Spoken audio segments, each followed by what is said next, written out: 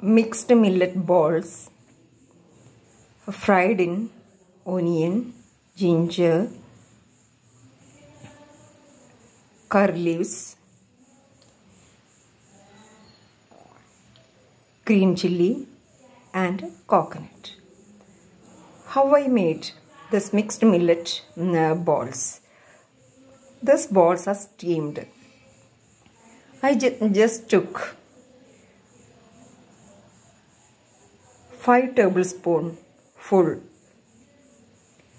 millet powder which I made homemade ragi and other 5 types. Totally 6 types of millets are there. Uh, powdered and that powder and mixed millet powder and grated beetroot.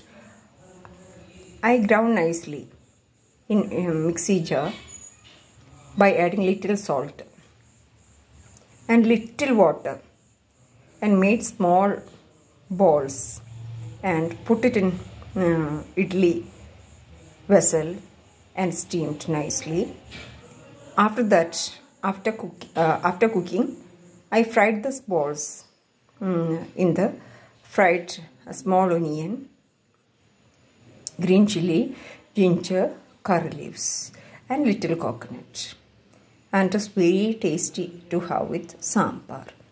Or can have with um, mutton um, curry or with chicken curry or with fish curry also. It is very tasty